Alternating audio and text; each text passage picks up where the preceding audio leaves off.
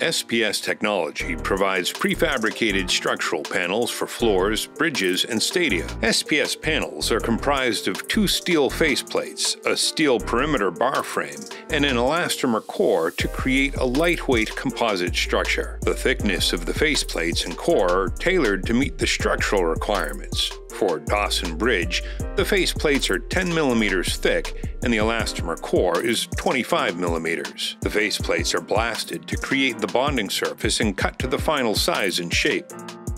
Edge bars 25 millimeters thick are welded into a frame which is fixed to the bottom plate. The bottom plate is then cleaned and elastomer spacers, which are used to maintain dimensional accuracy, are glued in place.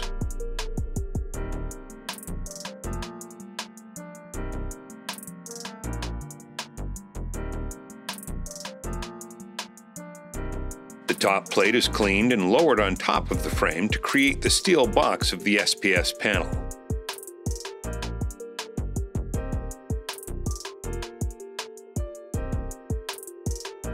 For Dawson Bridge, weathering steel was used, which requires preheating to 125 degrees Celsius prior to welding. The faceplates are welded to the perimeter bar frame to create the sealed box for injection of the elastomer. Depending on the welding sequence, the welding can be carried out by hand or by a welding robot. One injection hole and two vent holes are drilled into the top plate for the injection of the elastomer into the core of the panel. The empty SPS panel is placed on a sloped injection bed and restrained during injection to control the deformation of the faceplates.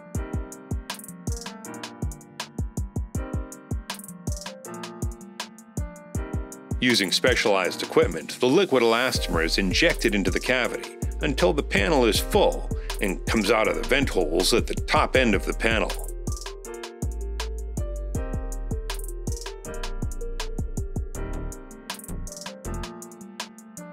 The injected SPS panel is left to cure for 4 hours until the elastomer core is hardened.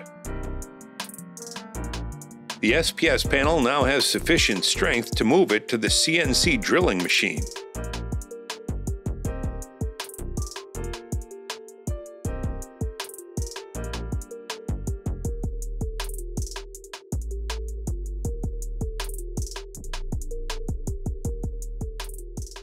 The machine automatically drills all bolt holes used to connect the SPS bridge deck panel to the primary structure of the bridge, and machines the threaded lifting holes.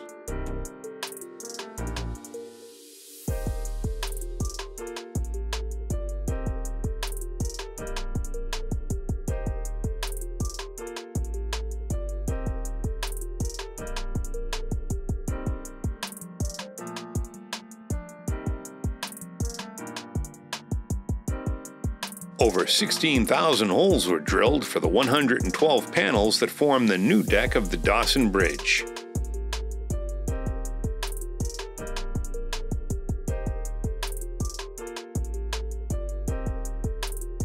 After the drilling process, plugs are welded into the injection and vent holes to finish the SPS panel.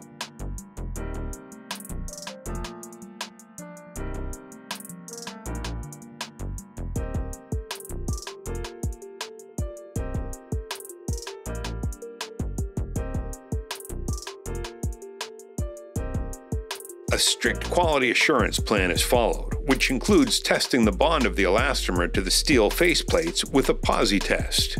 This is essential to ensure the properties of the SPS composite panel. Finally, the SPS bridge panels are loaded into containers for shipping to Edmonton, Canada, where they'll be installed to form a new, lighter road deck on the Dawson Bridge.